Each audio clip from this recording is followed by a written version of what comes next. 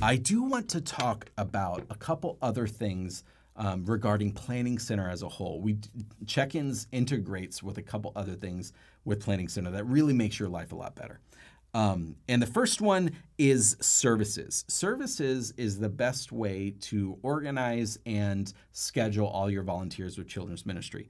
And we actually have, I'm going to go to the settings cod on an event here, and there is a services integration. So what that will do is if you are scheduled to um, if you're scheduled to an event and the team name or position name matches the location and check-ins will automatically pre-check you into that location. So I'm going to go ahead and turn this on. And when I go over to a roster station here, I'm going to go back and let's just go into Blue Elephants. You can, I'll go to the Ready tab. You can now see that on the Ready tab, everybody who is scheduled um, shows up this on this day ready to be checked in as volunteers.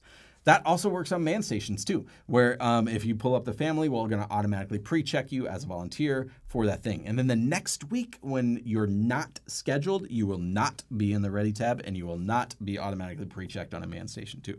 So that is services. That's kind of a rad uh, integration. That's the best, smoothest way to check people in and to uh, to you know schedule all of your volunteers. Um, the other integration I want to talk about is registrations. So registrations is really useful, especially with children's ministry for like VBS, where you want to make sure everybody like signs up for VBS. Maybe they even need to pay online. You can do that through registrations.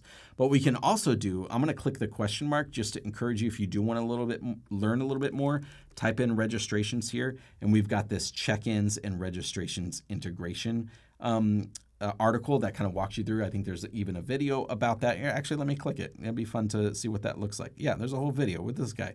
He's talking about how to, how that makes that happen. so yeah, um, check-ins and registrations with VBS. You can do some really neat things. Like you can create assignments. So like for VBS, I got like a blue group and a green group, and you can create all those assignments, and then you can check people in with those labels that are different for each one of those groups. So a lot of neat things that you can do with that. The other thing that I want to point out here um, is actually Planning Center people.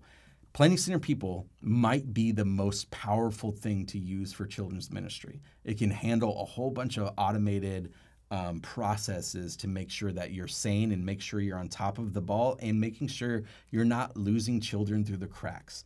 Um, there's a lot to talk about that though. So instead of actually talking about that, I want to talk. Uh, I just typed in the word ministry. There's this Using Planning Center for Children's Ministry that has a whole uh, 26 minute um, Planning Center University video on using everything Planning Center just for children's ministry. And I know you'll definitely want to check that one out.